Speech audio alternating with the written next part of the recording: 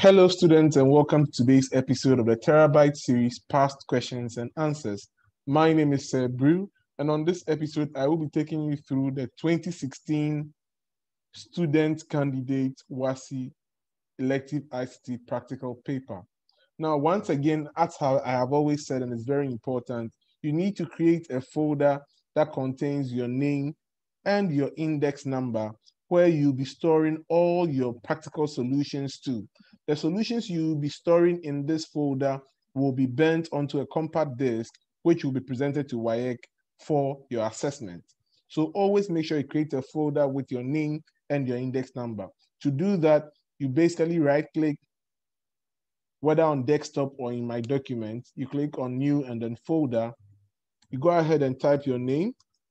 So if you are called Fatal Mohammed and your index number is 2122924. Whatever it is, you create that folder, and then it becomes the root folder where you store all your solutions. This is very important. So I have been using Cerebrew. Let me delete this for a while now, and that's where I'll keep putting the other solutions into for the purpose of these presentations. Now let's delve straight into our practical question. The student candidate WASSCE 2016 practical exams, question one. With the help of an appropriate text editor, create the HTML codes to produce the page below. The page says my top three subjects are colon, mathematics, English language, and life skills. Now, as you may notice, anytime you see um, disk or black dotted um, bullet items or bullet listing, it represents an unordered list, right? Because those are the default anytime you use an unordered list, they give you a black or a disk-like bullet pattern. When you use an ordered list, it usually gives you numbers or different style formats that you can change. For unordered, you can have circle, you can have square, but default is black or disk-like um, but bulletin, right? Or button list kind of stuff. Okay, so B says set the title of the page to your full name and index number.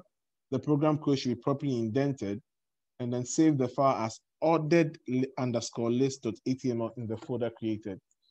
In our previous videos, we have solved questions that looked like this. We are still going to go through the process if this is the first video you're watching in our series. So I'm going ahead to bring up our text editor, which is Notepad. Now, once again, I'm going to separate my screen into two with our question on the left and our HTML application on the right.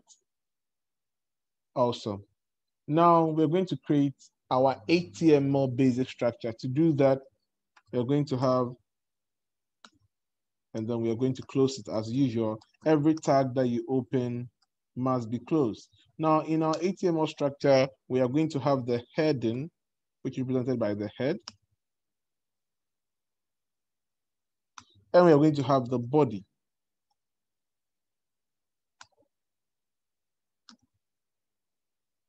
Fantastic. Now, my top three subjects are this content of our web browser will come into the body. Now we must state our preamble, which is my top three subjects are. We can either do this using a paragraph or do this using a heading.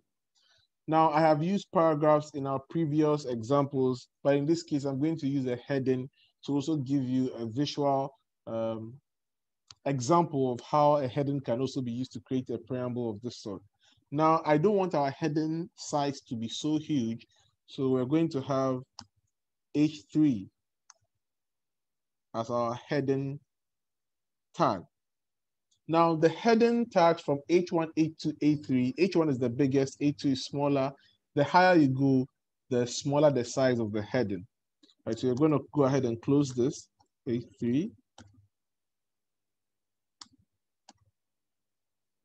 And in our header, you're going to have my top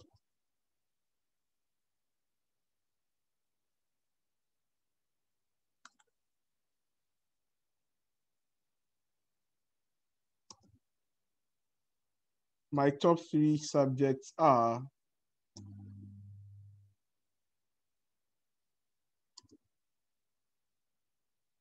colon. Fantastic. Now we are going ahead in our body.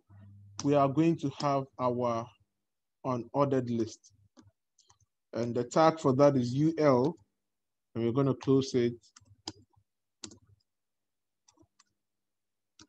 UL.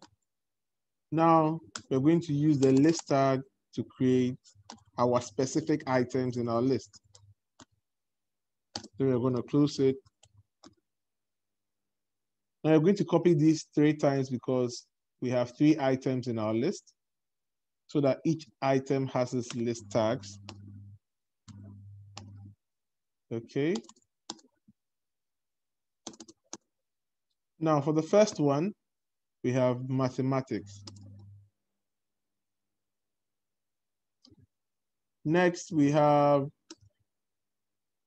English language. Then we have life skills. Okay. So this basically is supposed to print what we have under A. We can go ahead and save this file, save us.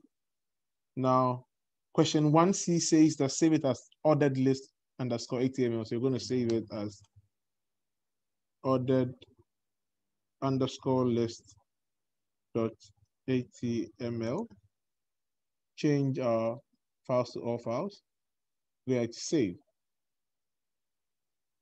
Fantastic.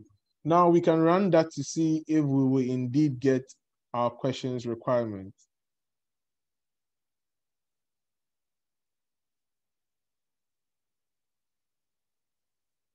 Fantastic. So we have these are, no, sorry, that's not what you're looking for.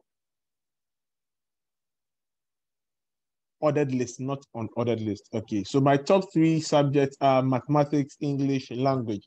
Now, because we use the heading type, you realize that our preamble has been boldened. Okay, so our question now requires us to set the title of the page to a full name and index number. That's question 1B. Now, we all know that title belongs to the head. So you're going to go ahead, create title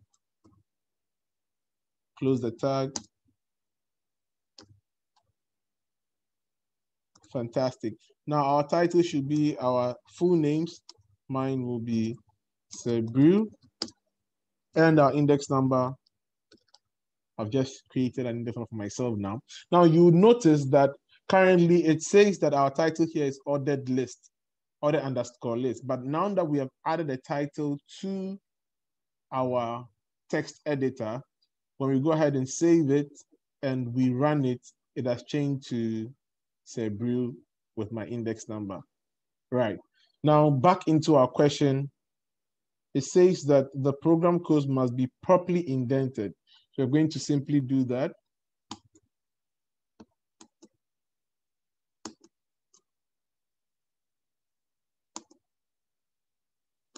Okay.